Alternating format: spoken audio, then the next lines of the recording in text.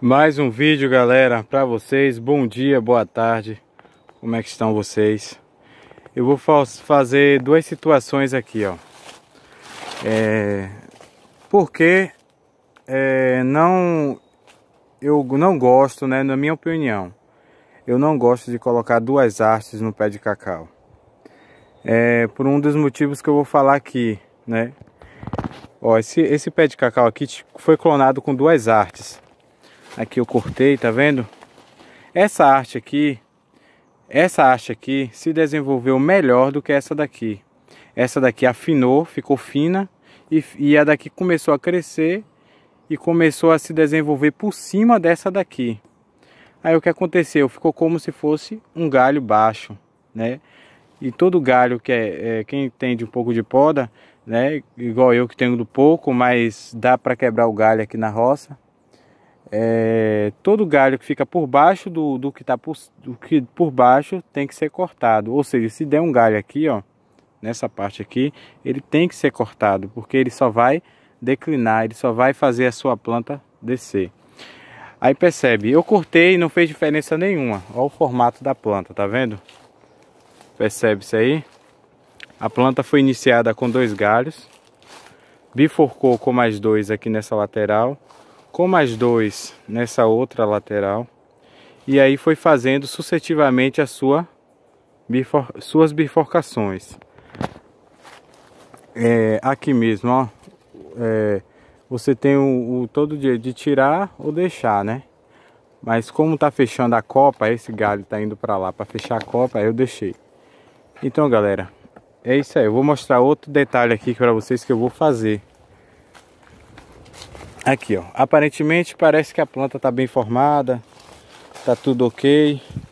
Aí se fosse outras pessoas dizer assim, não, a planta tá, tá tudo ok. Eu não tirarei não, tá tudo ok, tá tudo bom aí, né? Mas eu vou mostrar um detalhe para vocês, se vocês for observar. Na verdade, você se imagina essa planta futuramente, o que é que ela vai fazer, né? Qual é o, o, o, o que é que ela vai fazer aqui? Ela vai começar a crescer esse galho aqui, né? Vai fazer mais copas em cima. Ela tem mais um andar para fazer. Aqui eu já estou no segundo andar.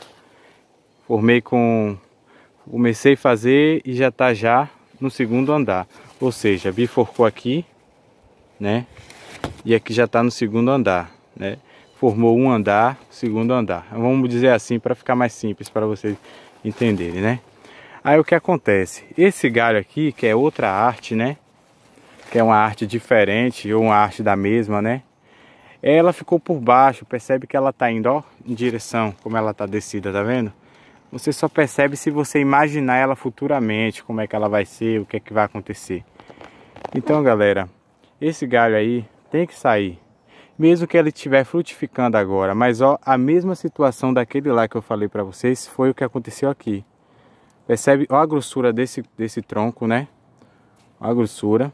Tá vendo? E ó, a finura desse daqui. Aqui tá como se fosse um broto chupão. Tá um, um precisando mais que o outro. É como se eles ficassem incompatíveis aí nesse espaço deles aí. Aí o que acontece? Você vai tirando. Vou tirar o galho aqui. Vocês vão ver como vai ficar. Futuramente, como fica essa planta. Vocês vão tirando, né? Aqui mesmo. Ó, se vocês não conseguem, para não quebrar a tesoura, dá um empurrãozinho para lá, ó. Ó. Sempre vai ser assim, tá vendo? E aqui agora, ó como ficou essa planta. Ó o formato que deu essa planta, tá vendo? É assim que se faz a poda. A gente às vezes fica com medo de cortar algum galho, querer fazer alguma coisa, mas na verdade é isso. É dessa forma aí que se poda. Fez alguma diferença? Não fez. Eu só diminuí um galho só. Só isso. E ali, aquele galho ali, ia provavelmente ele ia pender. A partir do momento que desse uma, um fruto na ponta, que geralmente CCN sempre dá fruto na ponta, ele ia fazer isso aqui, ó. Descer o galho e ia lascar a sua planta. Muitas vezes você não tem tempo para estar tá decorrendo na roça toda. E geralmente o fruto dá, né? O cacau clonado ele dá praticamente o ano todo, né? E você percebe que, que vai dando fruto e você não vê, quando vê a das lascou, você perdeu. E aí você perde esse tronco todo, às vezes entra fungo E aí só porque uma galha que você não, não, não cortou, você acaba tomando prejuízo de um pé de cacau, ou seja, você lutou aqui três anos para cuidar desse fruto, desse pé de cacau, né? Vamos dizer assim. E aí você perde em menos de uma safra, né? Só por causa de um galhozinho que você ficou com, com pena de cortar aí. Mas é assim. Você a gente tem que pensar no futuro. Às vezes o agora também é bom. Você tem que pensar também o que você ia ganhar se você perdeu, o que você ia tirar aquele galho.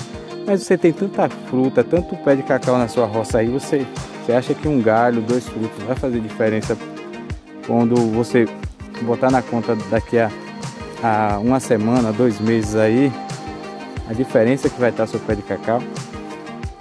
Então galera, é isso aí. Vamos junto, mais uma dica aí para vocês aí. Deus abençoe. Show de bola.